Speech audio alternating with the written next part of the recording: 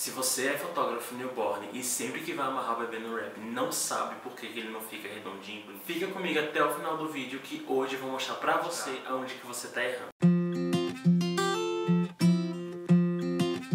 Olá, meu nome é Luiz Ricardo, eu sou fotógrafo de bebês e famílias e professor de fotografia. E hoje eu vim aqui pra te mostrar os três erros fatais que te atrapalham na hora de fazer o wrap perfeito. No início da fotografia, é muito comum que a gente tome alguém como uma referência, como alguém que a gente considera aquela fotografia bonita, alguém que a gente gostaria de fotografar igual. E comigo não foi diferente. Eu sempre via as fotografias das fotógrafas que eu tinha referência, aqueles wraps redondinhos, bonitinhos, e nunca conseguia fazer uma fotografia igual àquela, nunca conseguia amarrar o bebê daquele jeito sempre ficava torto, ficava folgado, o wrap ficava compridinho, nunca ficava redondinho aquela bolinha perfeita.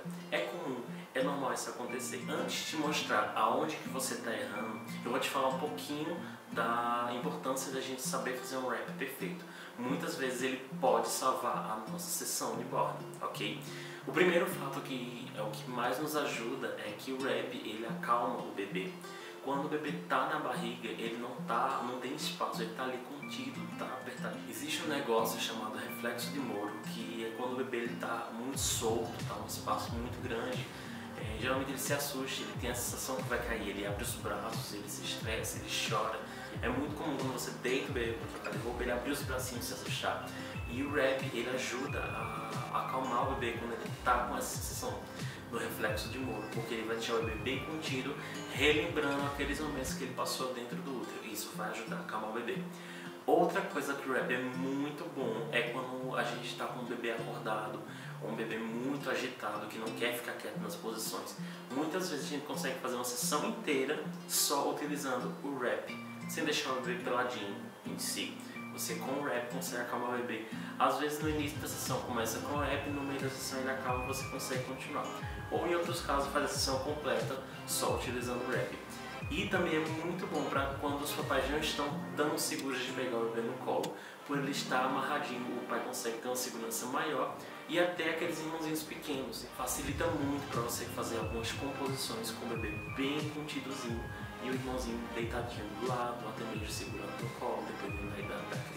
Agora, sem enrolações, vamos direto para o assunto. O primeiro erro que as pessoas mais cometem quando vão fazer uma amarração de rap é não utilizar o rap correto.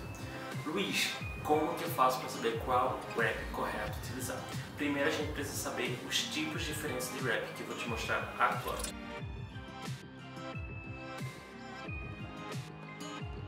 O primeiro rap que eu separei para te mostrar é o rap de contenção. Uh, esse rap, como o nome mesmo já diz, ele serve para conter o bebê. As características desse rap é que ele precisa ser bastante elástico, precisa esticar bastante, pode ser um tecido de malha, pode ser um, como esse aqui que é um rap importado. Ele é como se fosse um tricô, mas ele lembra um tecido de tão juntinho que ele é e ele estica bastante. Ele tem uma elasticidade maravilhosa. É, esse wrap ele serve para você colocar na primeira camada da amarração para deixar os bracinhos dos bebês bem contidos, bem presinhos, para que você consiga depois utilizar um wrap de acabamento, certo? Wrap de acabamento é o que eu vou te mostrar agora. Existem vários tipos, são muitas variedades, mas eu trouxe três que eu mais uso aqui para te mostrar. A primeira delas, que é a mais usada, é o wrap de tricô. Não sei se eu vou conseguir focar. Wrap de tricô é esse wrap aqui. Geralmente ele fica enroladinho e tem uma textura bem bonitinha. Voltando aqui, volta. Ele é muito bom para você fazer um acabamento por cima do wrap de contenção. Ele fica muito bonito por ter uma textura diferenciada e esse enroladinho que geralmente o pessoal mais reclama, para mim é o que dá todo o charme do wrap de tricô. A gente colocando esse enroladinho pro lado de fora, usando a criatividade, dá para fazer um efeito lindo durante a amarração. Outro wrap que eu separei aqui é o famoso e polêmico paninho de queijo, mais conhecido como cheesecloth. Vou dar um zoom aqui para você ver a textura dele.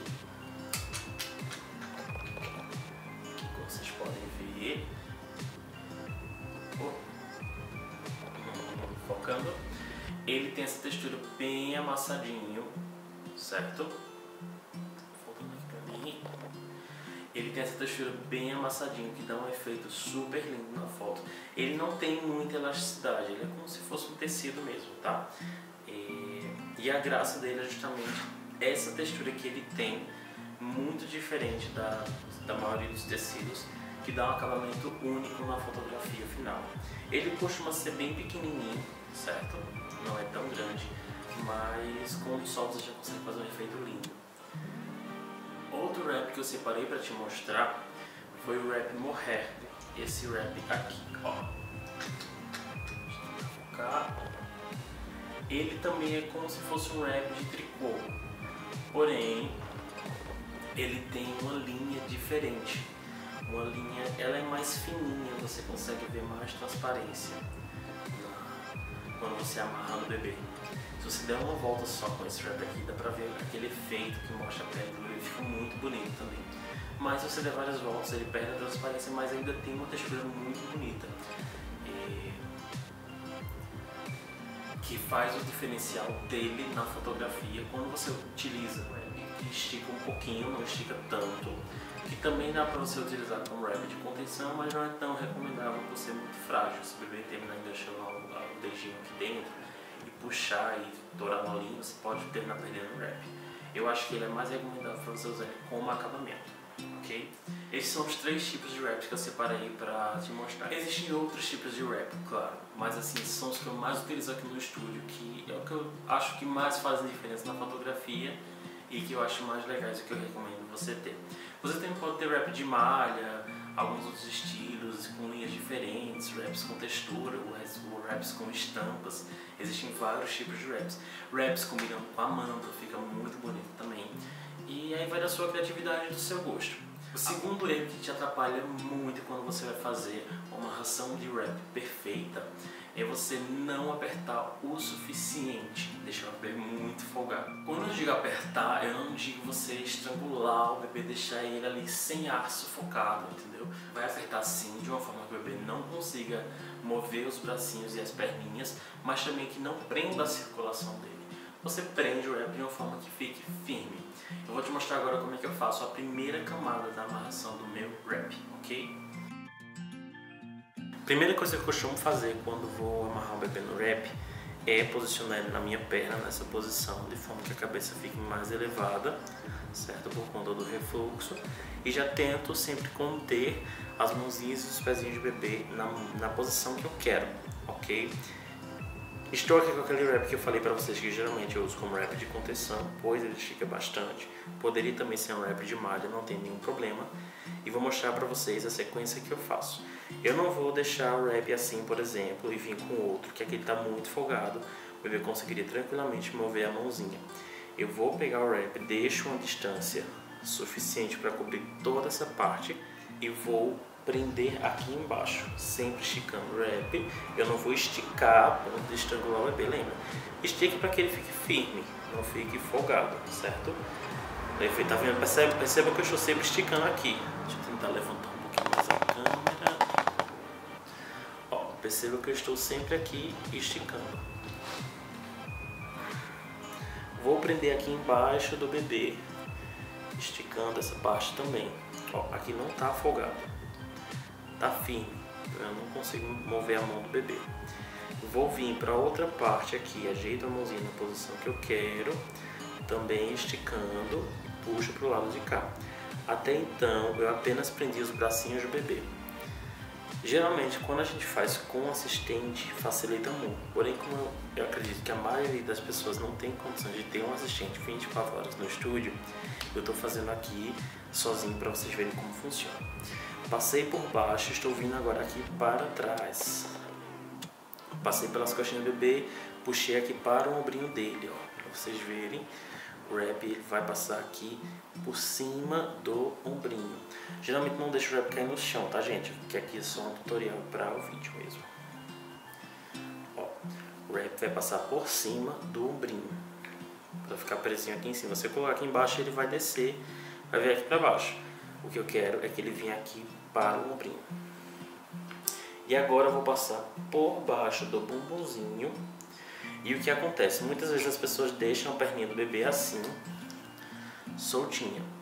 Se a gente deixar soltinha, não vai fazer o wrap redondinho, ele vai ficar comprido. O que a gente tem que fazer? Pegar o bambuzinho do bebê aqui e levantar. Fazer esse movimento aqui, ó. O bambuzinho tava assim, eu vou botar a mãozinha aqui embaixo e puxar para cima. Para que a coluna dele faça tipo um C, sabe? E eu vou puxar, deixo os pezinhos aqui, ó, percebe a diferença? Daqui eu puxo para aqui. Os pezinhos do bebê não vão ficar cruzados aqui em cima, porque se fica cruzado eu crio um bolinho aqui, um volume que eu não quero. Eu vou deixar um estiradinho embaixo e outro estiradinho em cima, certo? Eles ficam retinhos, não vão ficar cruzados. E aí eu segurando aqui, eu não preciso segurar mais a mão porque ela já está contida. Segurando os pezinhos, passo por cima do ombrinho, passo aqui no joelhinho, sempre esticando o wrap, passo aqui de novo no joelhinho e volto para esse ombrinho. Nesse caso aqui, já, é, meu wrap poderia já ter acabado, porém ainda tem mais um pedaço, então vou dar outra volta. Não vai chegar no ombrinho, posso prender aqui embaixo.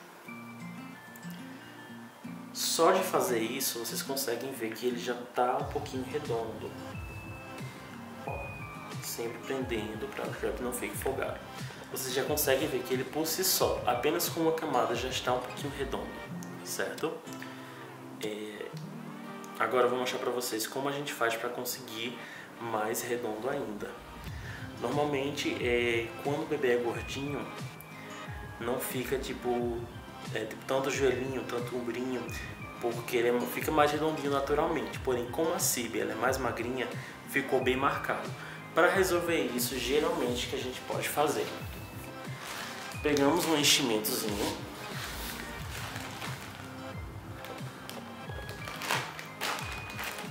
pode ser essas layerzinhas que a gente usa para baldinho e tudo mais, ou pode ser algodão. Colocamos aqui na lateral. Isso vai fazer toda a diferença para que não fique aquele wrap muito marcado. Veio muito. Coloco aqui. Já vai dar esse efeito bem redondinho. Faça a mesma coisa do outro lado. Entre o joelhinho e o cotovelo só para dar essa arredondadazinha. Ok? Ó, já deu a arredondadazinha. Bem melhor, já ficou bem mais bonitinho. E isso se o bebê for magrinho, minha gente. Se o bebê for gordinho, não precisa, tá? Ó, tá vendo que ele já tá bem bolinha. E agora eu vou colocar a segunda camada de wrap por cima. Escolhi um wrap de tricô porque ele é mais grossinho, então vai dar mais volume na minha fotografia, na minha amarração. Vou colocar o bebê aqui na posição. Vou fazer o mesmo esquema dessa vez enrolando tudo. Vou acelerar agora porque vocês já viram o processo.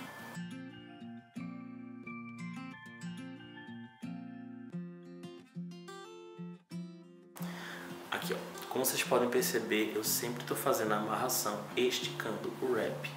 Nunca deixo ele folgado, ok? Essa é a segunda camada, vai ver como a gente já conseguiu deixar bem mais redondinho. Com a terceira camada vai ficar mais ainda.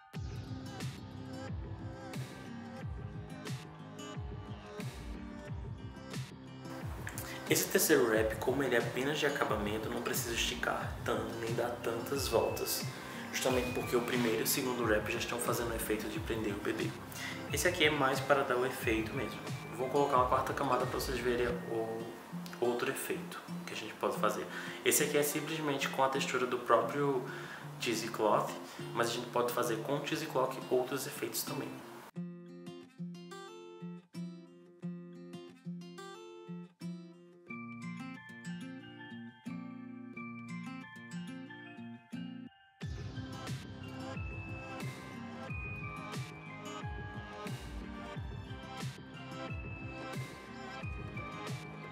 Esse aqui é outro efeito que a gente pode também fazer na amarração do cheesecloth.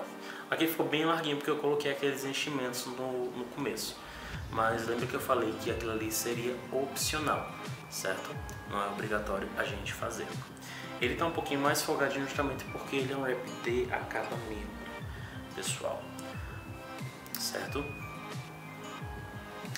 E através disso a gente já puxa para o nosso terceiro erro. Deixa eu só posicionar a câmera para a gente conversar melhor. E nessa demonstração de amarração praticamente já dei o spoiler do terceiro erro que geralmente o pessoal comete, que é utilizar apenas um wrap. Como vocês perceberam, na primeira amarração o bebê não ficou tão redondinho porque justamente ele estava muito fininho, o wrap. E estava mostrando todos os detalhes de ombrinho, cotovelinho, joelhinho, e aí não fica tão redondinho. Quando a gente coloca o segundo wrap, para ficar mais grossinho, já esconde mais. No terceiro e no quarto aí já fica perfeito do jeito que a gente quer, bem redondinho, bem perfeito. O foco de deixar bem preso é para que o bebê fique contido, como a primeira camada já diz, é o wrap de contenção. E na segunda e na terceira camada a gente já pode deixar um pouquinho mais folgado, se preocupar mais com o acabamento em si. E esses foram os três erros fatais que mais atrapalham os fotógrafos de inboard na hora de fazer uma amarração bonita. Se você está gostando desse conteúdo, não feche o vídeo ainda que vai ter dica bônus no final. Antes disso, deixa só dar um recadinho. Como vocês podem ver, esse é o primeiro vídeo do canal e dá um trabalho enorme fazer isso, filmar, editar, postar e ir atrás de conteúdo, pesquisar, montar roteiro é muito trabalhoso. Se você está gostando desse conteúdo, me dá aquela valorizada, deixa um like aqui embaixo, se inscreve no canal, que isso vai me motivar bastante. Se por acaso não tiver uma repercussão muito boa, o pessoal não curtir, não se inscrever, não vai me motivar a continuar trazendo esse conteúdo aqui para vocês. Então, se você gostou, é muito importante que você deixe seu like e se inscreva para eu saber que está dando resultado e para saber que vocês querem que eu traga mais conteúdo como esse aqui. E antes de a gente continuar, eu tenho uma enquete para fazer. Eu já estou pensando no próximo vídeo que eu vou trazer. Eu estou com duas opções de vídeo que eu quero saber qual que vocês preferem. A primeira opção, a opção A, seria como montar um cenário lindo com apenas 50 reais, gastando apenas 50 reais. Vou levar vocês até o centro, mostrar a escolha dos materiais e mostrar o preço de cada um e no final, com 50 reais a gente vai fazer um cenário lindo. Ou a segunda opção seria como eu edito a minha fotografia newborn quando eu fotografo sem suporte. Eu mostrei lá no, no Instagram a fotografia de eu fazendo o bebê apenas no puff, sem aquele fundo infinito, e como eu faço para completar o fundo infinito para que fique aquela manta bem esticadinha sem ter a, o suporte para mantas. E eu quero saber dessas duas opções, a opção 1 e a opção 2, qual que vocês preferem que eu traga na semana que vem. E agora vamos para a dica bônus. Quando a gente faz esse esquema de colocar um wrap sobre o outro, fazer essa sobreposição de camadas, a gente ganha muito tempo na sessão. Porque pensa comigo, o que é, que é melhor? A gente faz uma amarração, tira a foto no puff, aí pega o bebê, desenrola, faz outra amarração, tira no próprio, pega o bebê, desenrola, faz outra amarração, desenrola, faz outra amarração, coloca o bebê com a mãe. Dá muito trabalho, só de falar já cansa. Quando a gente faz assim, com três texturas de wrap, a gente pode fazer a primeira camada, fotografando assim, depois simplesmente desamarrar a, a última camada que a gente colocou, aqui eu tiraria o cheese cloth, só de eu tirar eu já tenho outro wrap embaixo prontinho pra gente fotografar, certo? Que foi esse wrap de tricô que a gente colocou e aí já daria para fazer a segunda foto sem precisar mexer muito no bebê, porque para tirar é muito rápido, às vezes até no próprio puff a gente só faz puxando devagarzinho sem acordar o bebê e já tem ele prontinho para outra sessão, não precisa refazer a amarração. E aí quando a gente tem a, camada a gente consegue fazer isso, diferente se a gente tivesse apenas um wrap. Eu teria que desamarrar o bebê para depois colocar outro wrap sabe? Dá muito trabalho, o risco do bebê acordar e a gente perder tempo de sessão é muito grande. Quando a gente faz assim, a gente ganha tempo, porque já tem o wrap por baixo pronto. Quando eu fotografar assim, se eu ainda quiser fazer com aquele primeiro, eu posso. E aí eu já tiro essa camada de wrap. E como um passe de mágica, temos outro wrap aqui perfeitinho. Só ajeitar os pezinhos do bebê, ó. Tá lindo para fotografar. É só ajeitar E dá para fotografar o bebê assim, com os pezinhos aparecendo também. Aqui tá meio desajeitadozinho porque eu coloquei esse enchimento, mas dá pra você ajeitar. É melhor a gente fazer um reajuste na hora do que ter que fazer outra amarração. Ó, e já temos um terceiro wrap prontinho para fazer vários tipos de fotos e só com isso aí você conseguiria fazer pelo menos 5 fotos de cada um e você já tem uma sessão aí com 15 fotos tranquilamente, com o bebê quietinho, amarradinho, sem estar estressado. Então é isso, pessoal. Ainda não sei uma forma legal de terminar o vídeo, porque esse é o primeiro vídeo. Tô vendo isso, vou depender do feedback de vocês pra gente ver o que muda, o que, é que continua, se estão gostando, se não estão gostando. Então, só reforçando. Se vocês estão gostando, deixa o like aí embaixo, se inscreve no canal pra eu saber que vocês estão gostando, porque se não tiver uma repercussão boa, eu não vou continuar trazendo conteúdo pra cá, tá certo? Então, espero que tenham gostado. Muito obrigado pra quem ficou até aqui. E se esse vídeo te ajudou de alguma forma, se quer, se melhorou na tua fotografia, se melhorou na tua de rap, manda para aquele grupo de amigos fotógrafos que você tem, manda para aquele teu amigo fotógrafo que se ajudou você, provavelmente vai ajudar ele também. Então, um beijo no coração de vocês e semana que vem, se vocês quiserem, tem vídeo novo.